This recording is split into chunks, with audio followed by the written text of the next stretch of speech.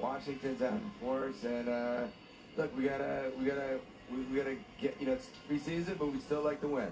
Yeah, I mean you're no, No stranger—you're no stranger to uh, professional sports teams managing general partner.